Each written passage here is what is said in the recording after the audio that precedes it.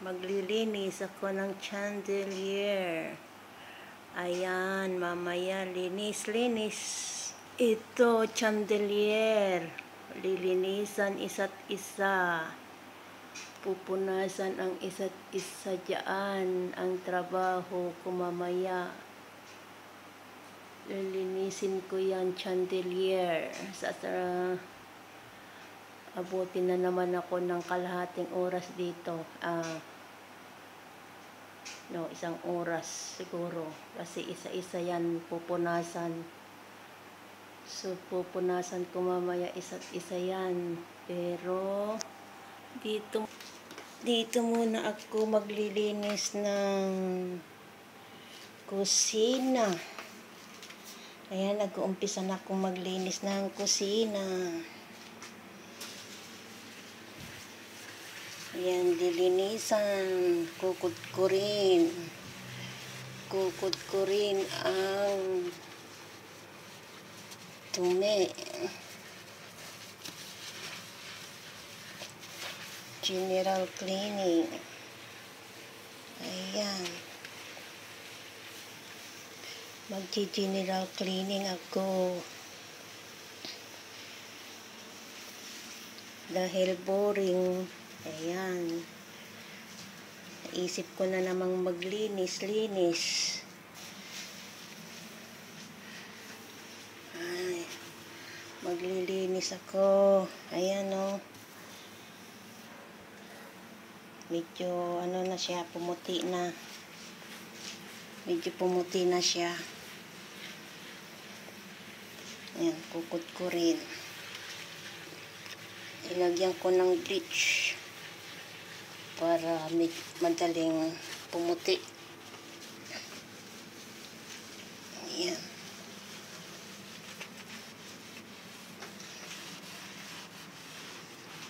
Ayan. Oh. Tanggal na yung mga kulay ng ayan kulay sa kubit kusina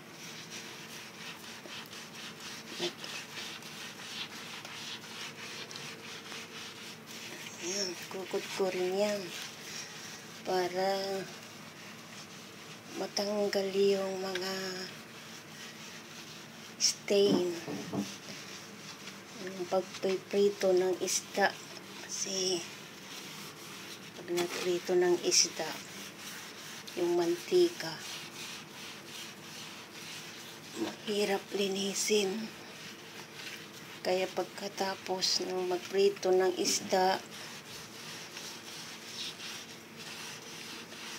yan lilinisin para makinis para maganda ang kusina. Malinis ang kusina.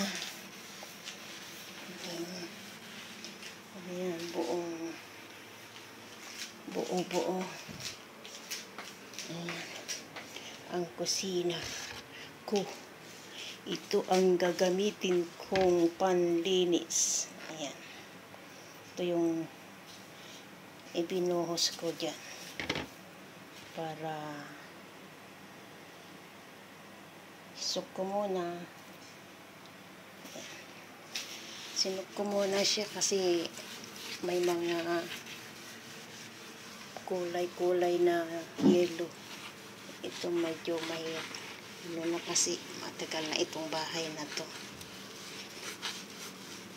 Matagal na kasi kaya yan. Linisin ang kusina ko.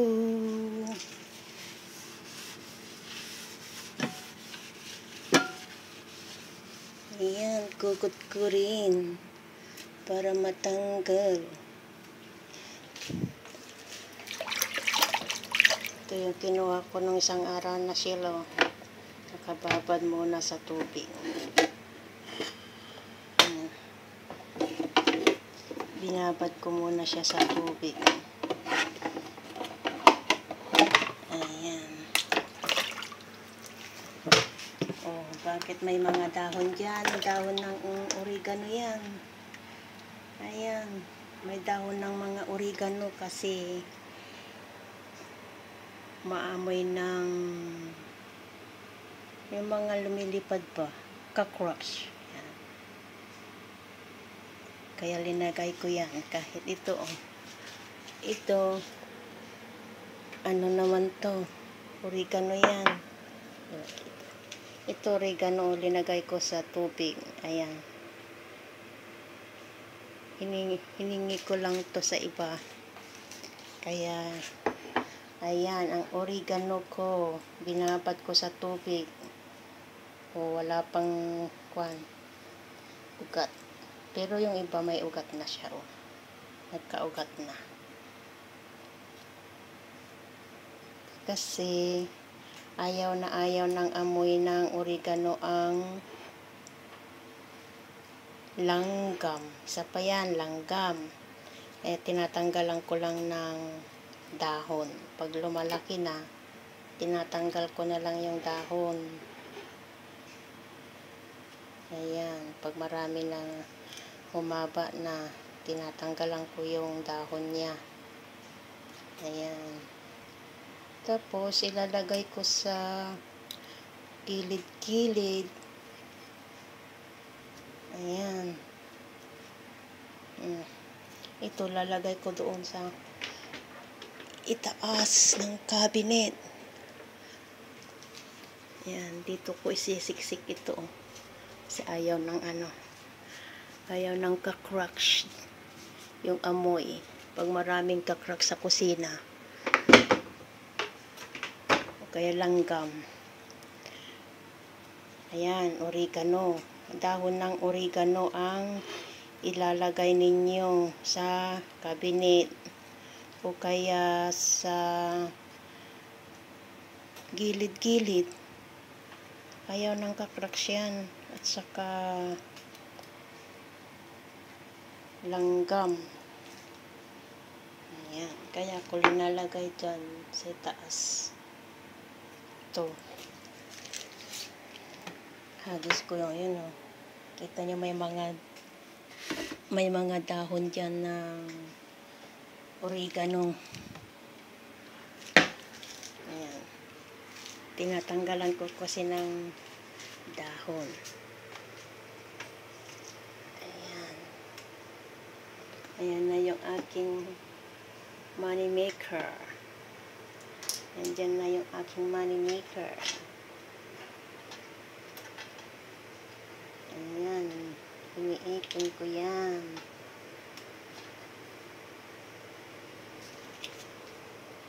Iniipon-ipon ko. Kaya linalagay ko yan. Diyan. Okay. Mamaya tuloy liw.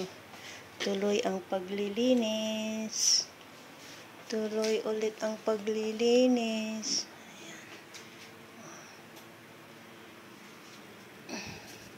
medyo nawala na yung kulay ng yellow dito.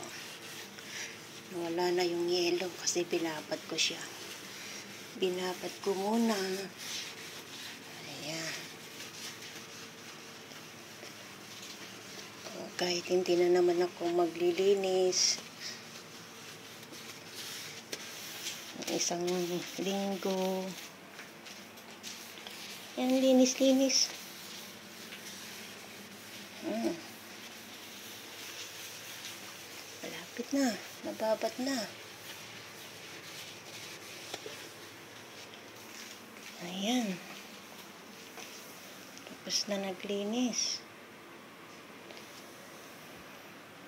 Medyo malinis-linis na. Ang aking kusina. Ang aking kusina malinis na. Saan ka pa? Ayaw ko kasi may kulay-kulay yung aking kusina. Ayaw kong may kulay-kulay ang aking kusina. Kaya gusto ko all is white. All is white na yan.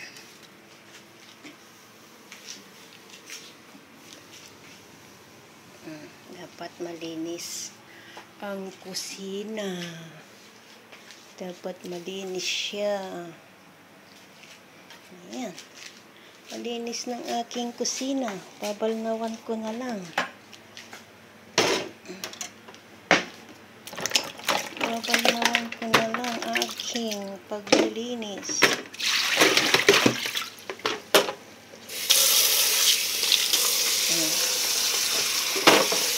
Habang naglilinis, ayan. Yung maganda, luluto na rin ako ng aking kanin. Ng aking kanin. Ayan o, may money maker pa akong inakabitin o. Money maker nakabitin. Ayan. Umpisan ko na. Lilinisin ko na ang aking kusina. Malapit ng linis ng kusina. Ayan. Thank you paglilinis ng aking kusina. Malinis ng aking kusina.